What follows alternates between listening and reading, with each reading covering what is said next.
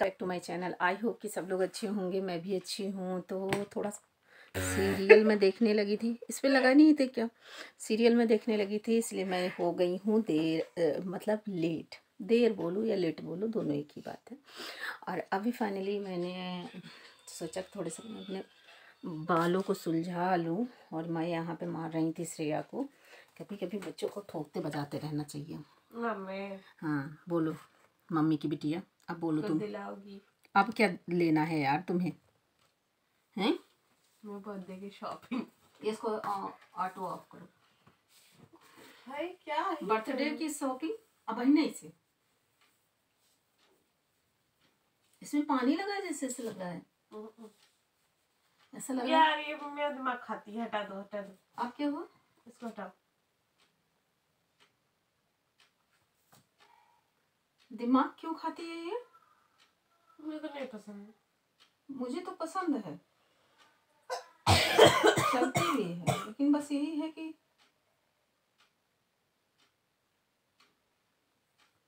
हम्म, हम्म, gown. Gown चाहिए नहीं। हम्म, दिखा रहा चलो तुम्हें गाउन दिलाएँगे। सिंपल से।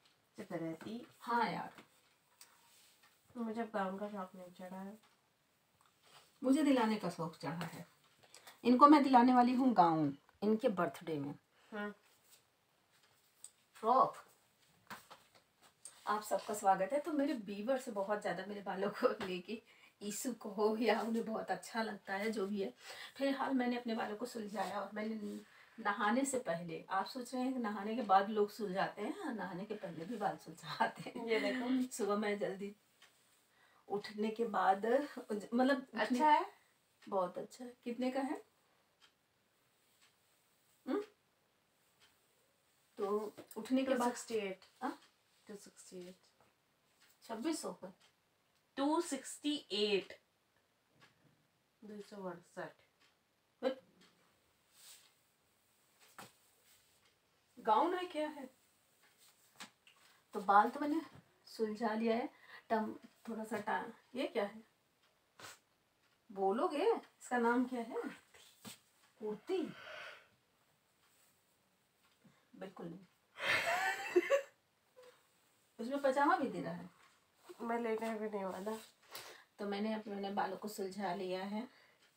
और बताए, नहाने जाओ ना तो थोड़ा सा बाल बिखरा बिखरा रहता तो बहुत दिक्कत होती है। आज मैं लेट सो के जगी थी ना तो जब लेट सो के जगी थी तो फिर सारे काम लेट हो गए। सो के जगते ही पहले मैं भाग के किचन में गई। तो मुझे टाइम नहीं मिला कि मैं एक्सरसाइज कर लूँ या फिर मैं अपने बालों को सुलझा लूँ। ये सब का टाइम मुझे नहीं मिला। फाइनली अब मुझे टाइम मिला है तो लग रहा है कि नहीं, अपने बालों को सुलझा लेना चाहिए मुझे। और बाल सुलझे रहते हैं ना तो ठीक रहता है। एकदम माइंड फ्रेश रहता है। कहते हैं ना और मैं यहाँ बनाऊँगी अपने बालों का क्या जूड़ा। और मैं मम्मी नहीं मेसी बन बनाया करो यार।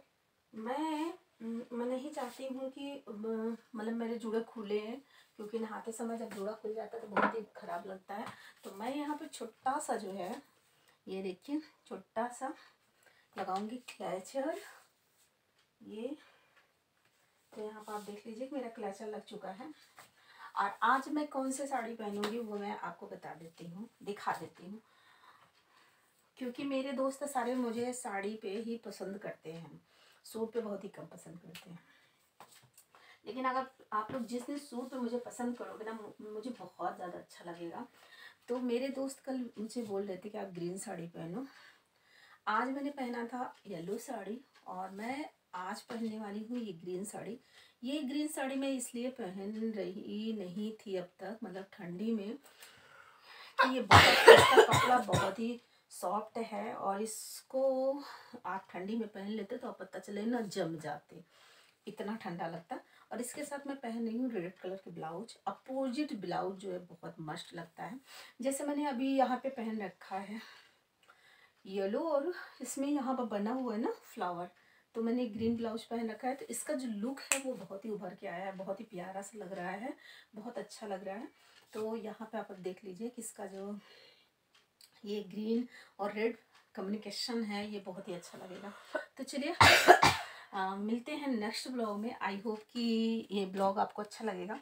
ये साड़ी जो है कल आपको देखने को मिलेगी इसका ब्लॉग। बाय।